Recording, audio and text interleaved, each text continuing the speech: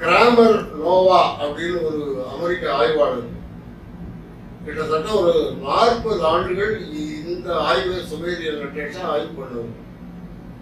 ஆய்வு பண்ணி ஒரு பெரிய அளவில் அவர் அதை எழுதி வச்சிருக்காரு. ஆங்கிலத்தில் மொழிபெயர்த்து வச்சிருக்காரு.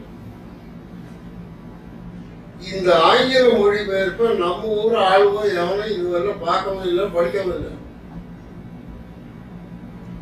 இதை படித்து பார்க்கின்ற பொழுது நம்முடைய மயிர்கால்கள்லாம் சிலுக்குது. அவ்வளவு செய்தி அந்த சுமேரிய இலக்கியங்கள்ல தமிழை பத்தி சொல்லியிருக்காங்க. தமிழ்ங்கிற சொல்லி அதுல இருக்குங்க. அதுக்கு என்ன அவன் விளக்கம் சொல்றான்? தமிழ்ங்கிற சொல்லுக்கு டிவைன் வேர்டு டிவைன் வேர்டுன்னு எழுதுறான். அம்மா அப்பா இதெல்லாம் தமிழ் சொற்கள் இருக்கு சேய்ங்கிற வேர்டு வந்து இந்த வெள்ளத்துல இருந்து கடவுள் வந்து ஒரு மனிதனை காப்பாத்துறாரு ஒரு மன்னனை காப்பாத்துறாரு. அந்த சுமேரிய மன்னன். அந்த சுமேரிய மன்னனுக்கு பேரு சேய்.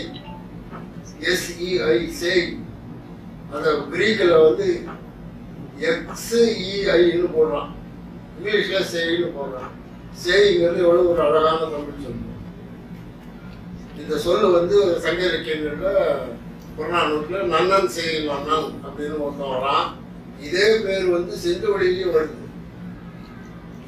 இப்படி முதல்ல வந்து first migration around ten thousand BC from Indus valley இது நல்லா தெளிவாக தெரியுது தமிழருடைய முதல் குடியேற்றம். ரெண்டாவது குடியேற்றம் இவர்கள் கிமு ஆறாயிரம் ஆண்டுகளில் போயிருக்காங்க. நாலாயிரத்தி ஐநூறுல இருந்து இவர்களுடைய அரசு நடக்குது. அந்த சுபேதியர்கள் உருவாக்கிய அந்த நாட்டினுடைய தலைநகரத்து பேர் என்ன தெரியுங்களா? ஊர். இந்த ஊர் என்ற சொல்ல ஆய்வு பண்ண மேலை நாட்டு ஆய்வாளர்கள் the etymology meaning and and of the the Ur is not known இந்த ஊர் என்ற சொல்லி எந்த மொழி சொல் என்று தெரியவில்லை. இந்த ஊர் என்ற சொல்லுக்கு என்ன பொருள் என்று தெரியவில்லை. இது எந்த மொழியிலிருந்து எடுக்கப்பட்டது என்பது தெரியவில்லை. ஏன்னா அவனுக்கு தமிழை பற்றி ஒன்றும் தெரியாத அவன் எழுதி வச்சிருக்கான். இல்லை இது சமஸ்கிருத சொல்லணும்னு எழுதாம த- தெரியலன்னு எழுதுனாங்க அதே பெரிய விஷயம். இப்போ ஊர் என்பது நம்ம இன்றைக்கு நம்ம வழக்கத்தில் வழக்கத்தில் இருக்கிற ஒரு சொல். ஆனா அதனுடைய நகரிய நாகரிகமாக அந்த ஊர் இருந்ததுனால அர்பன் சிவிலைசேஷனா அது இருந்ததுனால கிரேக்கர்கள் என்ன பண்றான் இந்த ஊருங்கிற சொல்ல வந்து நாகரிகத்தின் அடையாளமா அவன் நினைக்கிறான். கிரேக்கர்கள்.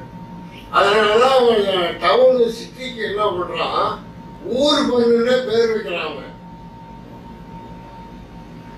இந்த ஊர் பண்ணுங்கிறத நம்ம அர்ப்பன்னு சொல்லிட்டு இருக்கோம். அது அப்படி சொல்லக்கூடாது. அவன் ஊர் பண்ணுன்னு சொல்லியிருக்கான் அந்த ரேக்க முடியல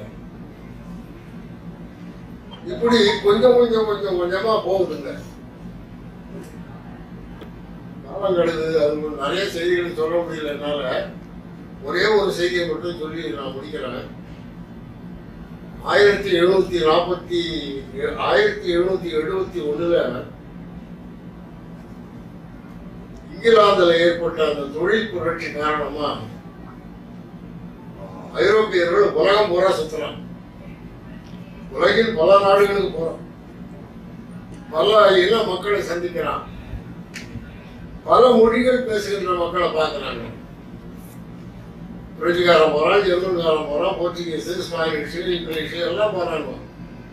இவ்வளோ போய் இந்த மக்களை சந்தித்து பார்க்கும்போது சில சொற்கள் வந்து அவர்கள் மொழியில் இருப்பதை உணர்கிறார்கள். என்னடா நம்ம பிரெஞ்சில் இருக்கு இந்த வேர்டு இது எப்படி தமிழ்ல இருக்கு மலாயில் இருக்கு சீனத்துல இருக்கு ஜப்பானியத்துல இருக்குன்னு அவனுக்கும் ஒரு பொறி தட்டுது.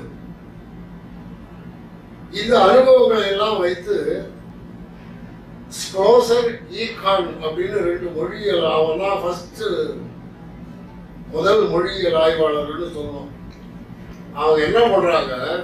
இந்த மொழியை பற்றி ஒரு ஆய்வு பண்றாங்க. முதன் முதல்ல அவன் தான் பண்றான். அந்த மொழியை பற்றி ஆய்வு பண்ணுவதற்கு அவன் எடுத்துக்கொண்ட பொருள் எடுத்துக்கொண்ட இலக்கியம் எதுன்னா பைபிள் தான்.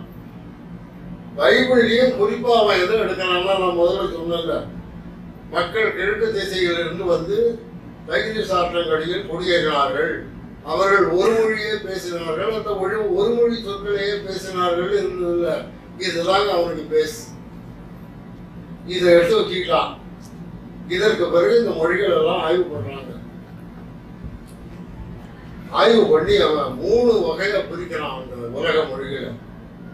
Semitic Semitic Hamitic Indo European அப்படின்னு மூணு பகுதியை பிரிக்கிறான்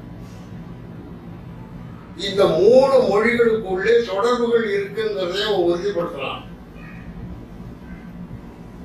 இந்த செமிட்டிக் என்ற மொழி ஈரான் ஈராக்கில் பேசப்பட்ட மொழி.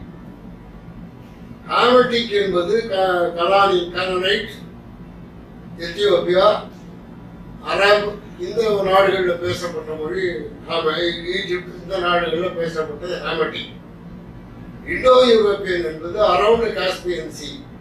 Greek Cyprus இந்த மாதிரி அந்த பிளாக்சியை சுற்றி இருக்கிற நாடுகளில் பேசப்பட்டது. இண்டோ யூரோப்பியன் மூணு கேட்டகரி பிரிக்கிறாங்க. இதில் வந்து ஏறக்குறைய பதினெட்டு மொழிகள் வருது. இந்த மூணு கேட்டகரியில பதினெட்டு மொழிகள் வருது. இந்த மொழிகளை எல்லாம் ஆய்வு செய்த பிறகு இறுதியில் அவர் முடிவுரையில் என்ன எழுதுறான்? இந்த மொழிகளுக்கெல்லாம் இந்த மூணு ஃபேமிலி லாங்குவேஜஸுக்கும் இந்த பதினெட்டு மொழிகளுக்கும் சேர்த்து ஒரு மூல மொழி இருந்திருக்கு. ஒரு புரோட்டோ லாங்குவேஜ்ங்கிறாங்க ஒரு மூல மொழி இருந்திருக்கு. அந்த மொழி எது வந்து தெரியவில்லை அப்படின்னு அவன் டிக்ளேர் பண்ணியிருக்கான். அந்த மூல மொழி எது வந்து தெரியவில்லை. அந்த பதினெட்டு லாங்குவேஜ் பட்டியல் கொடுத்துருக்கான். இந்த ஹீப்ரோ ஃபொனிஷியன் கனனைட் அரபு உகாரி எத்தியோப்பியன் கிரீக்கு எகிப்சியன் இதெல்லாம் ஒரு பட்டியல் கொடுக்குறான். இந்த பட்டியலுக்கெல்லாம் மூத்த மொழி முதல் மொழின்னு ஒன்று இருந்திருக்கு. அந்த முதல் மொழி எதுன்னு தெரியல அப்படின்னு அவர்கள் அந்த ஆய்வில் அவங்க இறுதியில் சொல்லியிருக்காங்க. இப்போ அந்த முதல் மொழி தமிழ் தாயன்னு நான் சொல்றேன். இதை நான் சும்மா சொல்லல. அந்த பதினெட்டு மொழிகளையும் ஆய்வு பண்ணி நான் சொல்றேன். அந்த பதினெட்டு மொழியிலும் தமிழினுடைய தாக்கம் இருக்கு. ஹீப்ரு அரமை இதெல்லாம் இந்த பழைய காலத்து மொழிகள் வந்து ஒண்ணு கொண்டு தமிழ் மலையாளம் மாதிரி இதெல்லாம். இந்த பதினெட்டு மொழிகளும் ஒன்றுக்கொண்டு லிங்குவிஸ்டிக்லி கனெக்டட் கொஞ்சம் கொஞ்சம் வித்தியாசமா இருக்கும்.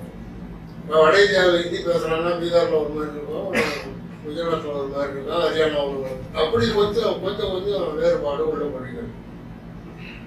இப்போ இந்த புரோட்டோ லாங்குவேஜ் என்பது தமிழ் தான் என்பதை என்னுடைய ஆய்வுகள் மூலம் நான் நிறுவி இருக்கிறேன் இந்த ஆய்வில் ஏறக்குறைய பதினெட்டு மொழிகள் நான் எடுத்திருக்கேன். அதில் குறிப்பாக இந்த மொழிகள் எல்லாம் ப்ரீ ஹிஸ்டாரிக்கல் லாங்குவேஜஸ் வரலாற்று காலத்திற்கு முற்பட்டவை.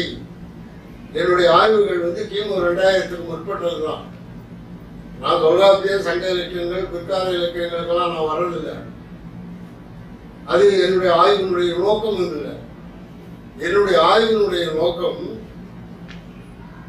தமிழ் தான் உலகின் முதல் மொழி தமிழர் தான் உலகின் முதல் இனம். இதை சொன்ன சிரிப்பாங்க. நம்மளோட சிரிப்பான் யாயா பேசுறதுக்குன்னு ஒரு விவசாயம் கிடையாதா இதை இப்படி இல்லாம பொய்ய சொல்றதுன்னு நம்மளோட சொல்றான்.